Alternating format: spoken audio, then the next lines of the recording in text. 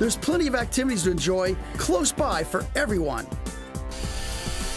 Earlier this week, I went ziplining with the boys and spent a late afternoon photographing spectacular Antigua.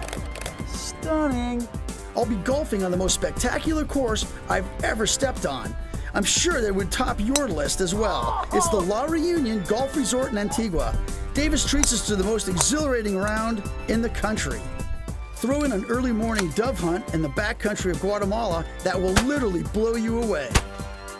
And I end this awesome adventure with another trip offshore with Captain Wanga Lopez and Team Affinity. Hold on to your seats. This is another Angler's Digest Guatemala style.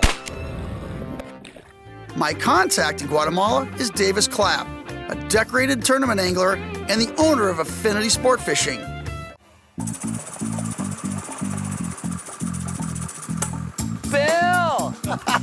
Good to see you, man. Good to see you. Been a long time, brother. Unbelievable. buddy. Oh man, good Glad times, to have you Wanga. here. Come on in. Right on. Place looks phenomenal as I would expect. Here's what we got planned for you. We're gonna go paragliding at Panajachel. You're going paragliding? No, you're going paragliding. I'll go with you. Good, David. All right, Mark, we're off and running, buddy. Woohoo! That's it.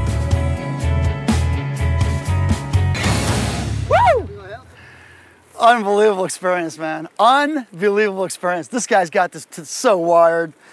We were talking about why I set my place up. Down here, you get so many shots, you can actually help an angler get better in a day. Absolutely. They have enough chances to realize what they've done wrong or right, and they improve. Yep. Now, you and I, we're being able to do all kinds of crazy, weird stuff, but for most anglers, they just need a bunch of shots. And then they get a chance to actually go, okay, I saw what happened, I felt what happened, I, and you have a chance to work with them and see what their bad habits are or mm-hmm. their good habits. Sure.